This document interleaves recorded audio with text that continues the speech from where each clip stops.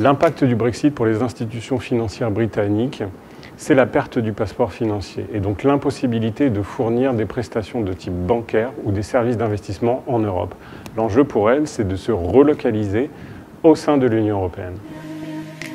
L'attractivité de la place financière de Paris a déjà été améliorée dans le cadre de la loi Pacte, qui prévoit tout un ensemble de mesures.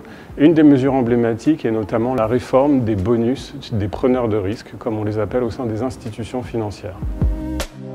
La plupart des fintechs sont situées au Royaume-Uni. Pour elles, l'enjeu, c'est vraiment de se relocaliser au sein de l'Union européenne pour être en mesure de fournir des prestations à l'ensemble de l'Union européenne.